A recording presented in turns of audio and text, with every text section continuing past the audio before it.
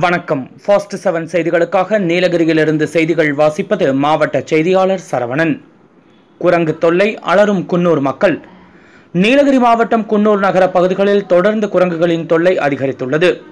லாலி மருத்துவமனை மற்றும் குன்னூர் உமரி காட்டேஜ் பகுதிகளில் குரங்கு தொல்லை அதிகரித்துள்ளது.